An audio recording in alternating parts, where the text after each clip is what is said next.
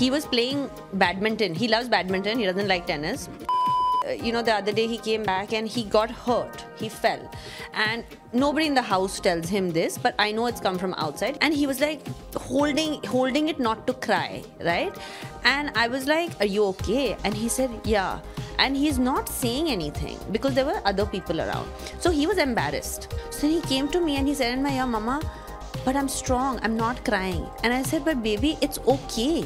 You can cry. You can show me what you're feeling. If the boys and the men and the brothers and the husbands and the fathers are in touch with that reality. I think it's a lot easier to understand where instead of saying that you know she's feeling this i don't know why she's feeling this. No no no it's not there it's not real. Push it under the carpet. You have to teach you and educate you're absolutely right educate the boys about the same empowerment. Another small story i'll tell you quickly.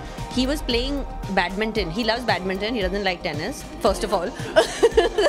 And he was playing with my cousin brother-in-law. And my cousin his wife you know she in a joke he just said no no you can't play.